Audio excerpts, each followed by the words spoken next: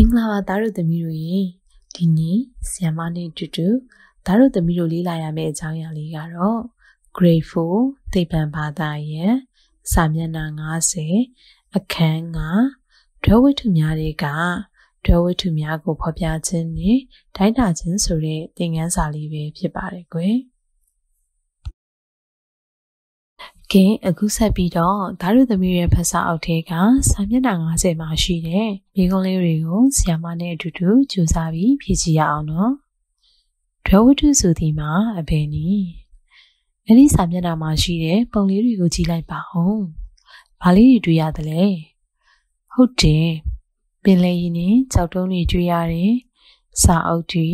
အချိုရည်ဘူး။နာယီနဲ့အသေးပုံကြောက်တုံးလေးတွေကိုတွေ့ရတယ်။ ဒါတို့သမီးတို့ကကြောက်ခဲရေနဲ့လေးတို့အကြောင်းကိုဒုတိယရန်မှာသင်ယူခဲ့မှုပြီးကြပြီနော်ဟုတ်တယ်ကြောက်ခဲမှာတီချတဲ့ပုံသဏ္ဍာန်ရှိတော့လေရေနှစ်လေတို့တွင် ပုံသဏ္ဍာန်တီချမရှိဘူးကြောက်ခဲရေနှစ်လေတို့တွင်အလေးချိန်ရှိပြီးရင်တို့သည် နေရာယူနိုင်ကြသည်ကြောက်ခဲများနှင့်ရေကိုမြင်နိုင်တော့လေလေကိုမမြင်နိုင်ပါ ခင်အဲ့ဒီစာမျက်နှာမှာရှိတဲ့ကောင်လေးနဲ့ကောင်မလေးကရောဘာတွေပြောနေကြတာလဲဟုတ်တယ်ပတ်ဝန်းကျင်မှာကြောက်ခဲရင်းနဲ့လေတွေအပြင်တခြားအရာတွေလည်းအများကြီးတွေ့နိုင်တယ်နော်ဟုတ်တာပေါ့ကြောက်ခဲရင်းနဲ့လေတို့လိုတခြားအရာတွေမှာလည်းအလေးချိန်ရှိပြီးနေရာယူနိုင်သလားခင်ဒါတို့သမီးတို့ကရောအဲ့ဒီမိကုံးလေးရဲ့အဖြေကိုမသိချင်ကြဘူးလား ကဲဒါဆိုရင်ဆီယမနဲ့အတူတူစူးစမ်းပြီးရှာဖွေကြရအောင်နော်ဒါတို့သမီးတို့ရဲ့ဖတ်စာအုပ်ထဲကစာမျက်နှာ51မှာရှိတဲ့လုပ်ငန်းနှစ်ကမိကုံးလေးတွေကိုဆီယမနဲ့အတူတူစူးစမ်းပြီးဖြည့်ကြည့်ရအောင်နော်အဆိုင်ခဲရင်းနှစ်လီတို့သည်နေရာယူနိုင်ကြောင်းမြည်တို့သိနိုင်ပါသည်နီမိကုံးလေးတွေကိုမဖြည့်ခင်ဒါတို့သမီးတို့ကလက်တွေ့လုပ်ငန်းလေးတစ်ခုပြုလုပ်ရမယ်နော် အရင်ဆုံးဓာတ်ရုပ်သမီးတွေရဲ့အိမ်မှာရှိတဲ့ပလတ်စတစ်ခွက်များဖန်ကော်လီလုံးများနဲ့ရေတို့ကိုယူလိုက်ပါခွက်အလွတ်ထဲသို့ဖန်ကော်လီလုံးများကိုရှန်ကြသည့်ကြီးထဲပါခွက်အတွင်းရှိနေရာလုံးများရှိမရှိကိုလည်းကြည့်ရှုလိုက်ပါအဲဒီနောက်ခွက်အတွင်းသို့ရေရှန်ကြသည့်အထိထည့်လိုက်ပါခွက်အတွင်းရှိနေရာလုံးများကိုလည်းတစ်ဖက်ပြန်လည်ကြည့်ရှုလိုက်ပါ ကဲလက်တွေ့ပြုလုပ်ပြီးသားပြီဆိုတော့ဒါတို့သမီးတို့ရဲ့လေးလာတွေ့ရှိချက်ပေါ်အခြေခံပြီးတော့ဆရာမနဲ့အတူတူမိကုံးလေးတွေကိုစဉ်းစားပြီးဖြေဆိုရအောင်နော်ခွက်သေးကိုခေါလီလုံးလေးတွေထပ်ပြီးထည့်နိုင်လားမထည့်နိုင်ဘူးလားဟုတ်တယ်ထပ်ပြီးတော့မထည့်နိုင်ဘူးဟွန်းဒါဆိုဘာလို့မထည့်နိုင်တာလဲဟုတ်တာပေါ့ ဂေါ်လီလုံးနဲ့ရီဟာဒရဝတ္ထုတွေဖြစ်ပြီးတော့ခွက်ထဲမှာနေရာယူထားလို့ခွက်ထဲမှာဂေါ်လီလုံးလေးတွေအပြည့်ထည့်ထားတဲ့အခါမှာခွက်ထဲကနေရလွတ်ထဲမှာဘာလေးတွေရှိနေသလဲဟုတ်တယ်လေတွေရှိနေတယ်ခွက်သေးကိုရေတွေစက်တိုက်လောင်းထည့်နေရင်ဘလို့ဖြစ်မလဲဟုတ်တယ်ရေရီရှန်ကြလာမယ်ဒါဆိုရင် ခွက်ထဲမှာဘာတွေကနေရာယူထားသလဲဟုတ်တာပေါ့ဂေါ်လီလုံးနဲ့ရေကနေရာယူထားတယ်ကဲဆီယမနဲ့အတူတူအမေးဖြေလေးတွေလုပ်ပြီးသွားပြီဆိုတော့ဒါတို့သမီးတို့ရဲ့ဖတ်စာအထေကစာမျက်နှာ51မှာရှိတဲ့လုပ်ငန်းနှစ်ကမိန်းကလေးတွေရဲ့အဖြေလေးတွေမှန်မှန်ဆီယမနဲ့အတူတူတိုက်ကြည့်ရအောင်နော် ကာကြီးခွက်အတွင်းသို့ဂေါ်လီလုံးများထပ်မံထည့်နိုင်ပါသလားအဖေဆောင်နီဟုတ်တယ်ခွက်အတွင်းသို့ဂေါ်လီလုံးများထပ်မံမထည့်နိုင်ပါအဖေဆောင်ဆိုတော့ဂေါ်လီလုံးနှင့်ရေတို့သည်ဒရဝိတုများဖြစ်ပြီးခွက်ထဲတွင် နေရာယူထားသောကြောင့်ဖြစ်သည်ခါကွေခွက်အတွင်းတွင်ဂေါ်လီလုံးများဖြင့်အပြည့်ဖြစ်ထားသောအခါခွက်အတွင်းရှိ နေရာလွတ်များတွင်ဤသည်တို့ရှိနေမည်နီ ဟုတ်တယ်ခွက်အတွင်းရှိနေရာလွတ်များတွင်လေရှိနေမည်ကငယ်ရေကို ခွက်ထဲသို့ဇက်တိုက်လောင်းထည့်နေပါကဤသို့ဖြစ်မည်နီ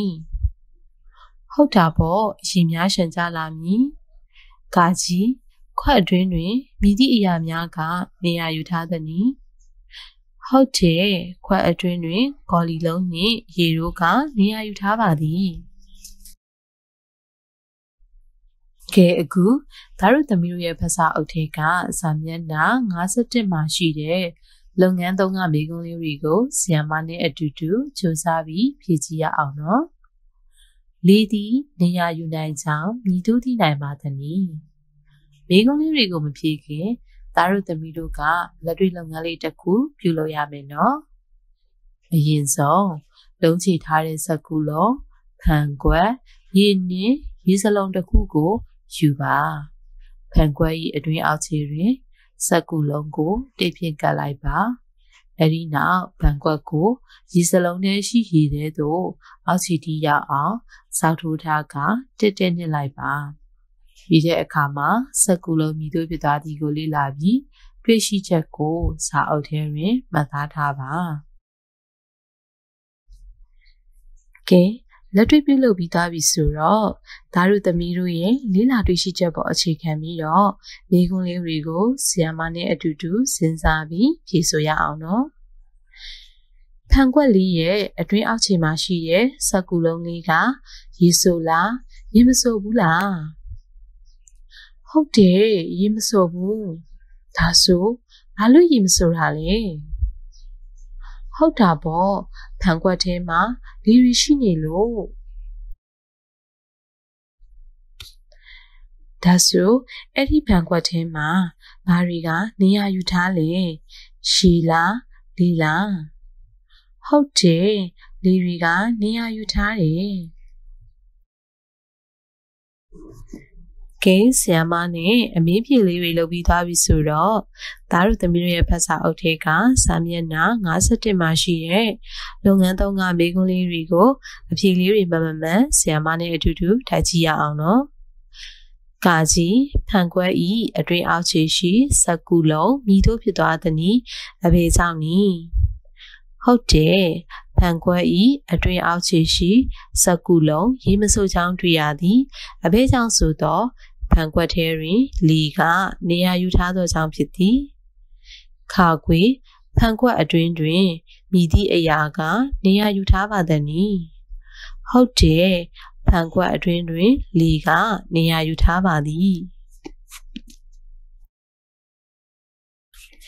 ကဲအခုဆက်ပြီးတော့သားတို့သမီးတို့ရဲ့ဖတ်စာအုပ်ထဲကစာမျက်နှာ52မှာရှိတဲ့ လုပ်ငန်းလေးကမိကုံးလေးတွေကိုသားတို့သမီးတို့ကိုယ်တိုင်လက်တွေ့ပြုလုပ်ပြီးတော့ဖြည့်ဆို့ရမယ်နော်ဒရဝိထုများရဲ့အတွက်ထုကိုမြည်တို့တိုင်းတာနိုင်တဲ့နည်းဒရထုဆိုတာအလေးချိန်ကိုပြောတာနော်သားတို့သမီးတို့ကဖန်ကွက်အချိုရည်ဘူပေါင်းနဲ့ဒီတို့ရဲ့အတွက်ထုကိုချိန်ခွင်ဒါမှမဟုတ်လက်စစ်ချိန်ခွင်တို့ဖြင့်တိုင်းတာပြီးတော့ဇီယာထဲမှာရင်းတို့ရဲ့အတွက်ထုကိုမှတ်သားရမယ်နော်ပထမဇီယာထဲမှာတော့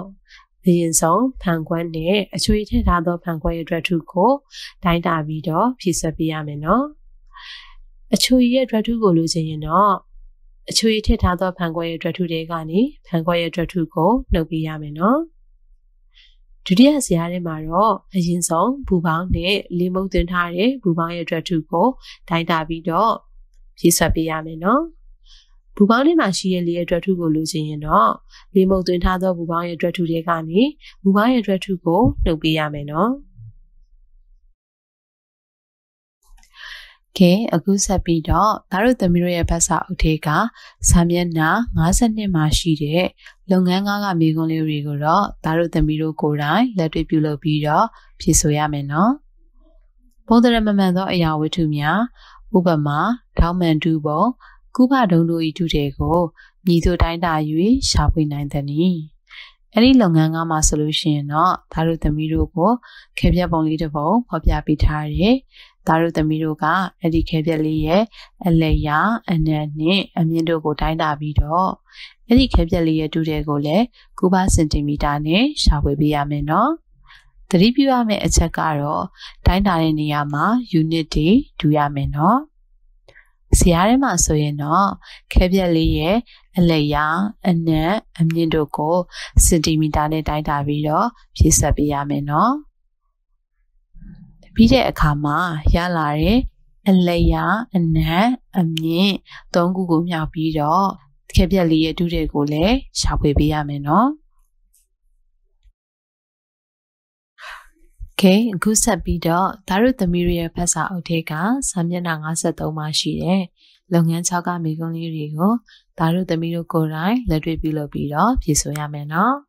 ။ရင်းနှစ်ပုံသဏ္ဍာန်မမှန်သောအရာဝတ္ထုများ၏ဒုတဲ့ကိုမြည်သူရှာဖွေနိုင်သည်နီ။အရင်ဆုံးဒါရုသမီးတို့ကဒုတဲ့တိုင်းစလင်ဒါခွက်ထဲကိုရေကိုထည့်လိုက်ပါ။ထည့်လိုက်သောရေရဲ့ဒုတဲ့ကိုမှတ်သားပါ။ အဲဒီနောက်ခဲလုံးတစ်လုံးကိုဒူတွေတိုင်းစလင်နာခွက်ထဲသို့ပြင်းညင်းစွာထဲပါရေနှစ်ခဲလုံးတို့၏ဒူတွေကိုဇရာတွင်မှတ်သားပါအဲဒီနောက်ခဲလုံး၏ဒူတွေကိုရှာဖွေပါခင်လုပ်ငန်းတွေလည်းလုပ်ပြီးသားပြီဆိုတော့ သားတို့သမီးတို့ရဲ့ဖတ်စာအုပ်ထဲကစာမျက်နှာ53မှာရှိတဲ့ဖတ်ရှုကြည့်ရန်စာနဲ့ပုံများကိုဆီယမနဲ့အတူတူလိုက်ဖတ်ကြည့်ရအောင်နော်ကျွန်ုပ်တို့ပတ်ဝန်းကျင်ရှိအရာများအလုံးသည်ဒရဝိထုများဖြစ်ကြသည်လေရေခြောက်ခဲ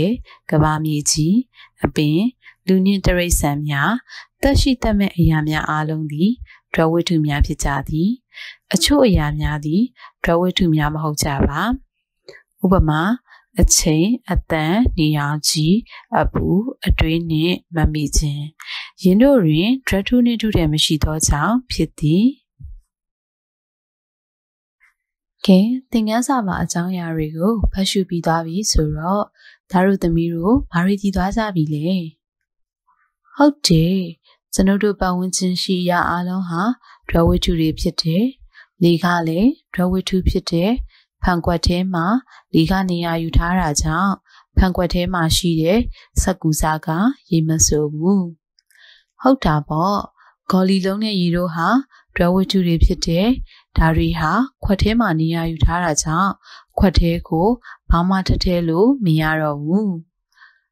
ဒရဝတ္ထုအလုံးမှာဒရထုရှိတဲ့ဒရထုကိုချိန်ခွင်ဒါမှမဟုတ်လျှက်စစ်ချိန်ခွင်နဲ့တိုင်းတာနိုင်တယ် ပြီးတော့လေပုံတရံမမှန်နဲ့ကြောက်ခင်းနဲ့ရေတို့ရဲ့တုတဲ့ကို အတိုင်းတာပါတယ်စလင်ဒါခွက်နဲ့တိုင်းတာနိုင်တယ်ဟုတ်တာပေါ့ပုံတရံမှန်နဲ့အရာဝတ္ထုတွေရဲ့တုတဲ့ကိုအဲ့ဒီပစ္စည်းတွေရဲ့အလျာအနံနဲ့အမြင့်တို့ကိုတိုင်းတာကမြောက်ချင်းဖြင့်ရှာဖွေနိုင်တယ်ဟုတ်တယ်ဒရဝိတုတွေရဲ့တုတဲ့ကိုကူပါစင်တီမီတာ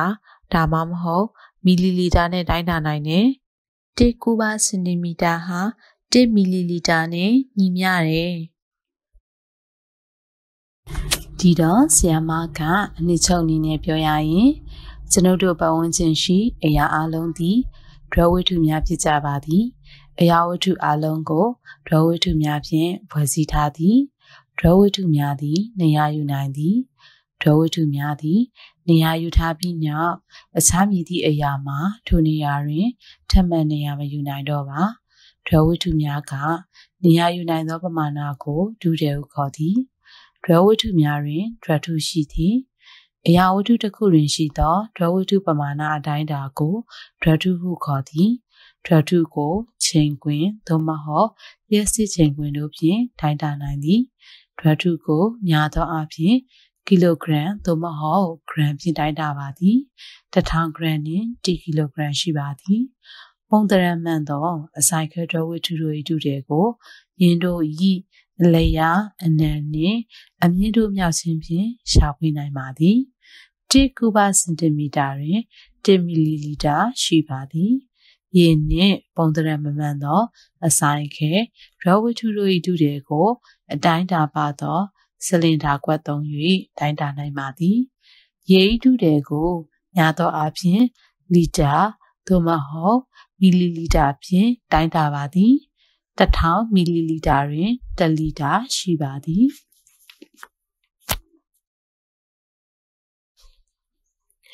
ကဲသင်ခန်းစာပါအကြောင်းအရာတွေကိုတည်သွားပြီဆိုတော့ဒါရုသမီးတို့ရဲ့ဖတ်စာအုပ်ထဲကဇာမျက်နှာ55မှာရှိတဲ့လေ့ကျင့်ခန်းလေးတွေကိုတော့ဒါရုသမီးတို့ကကိုဘာသာကိုစူးစမ်းပြီးလေ့ကျင့်ထားရမယ်နော်ဒါဆိုရင်တော့ဒီနေ့သင်ခန်းစာလေးကတော့ဒီလောက်ပါပဲနောက်တစ်ချိန်ကျမှဆီယမနဲ့အတူတူပြန်ဆောင်ကြမယ်နော်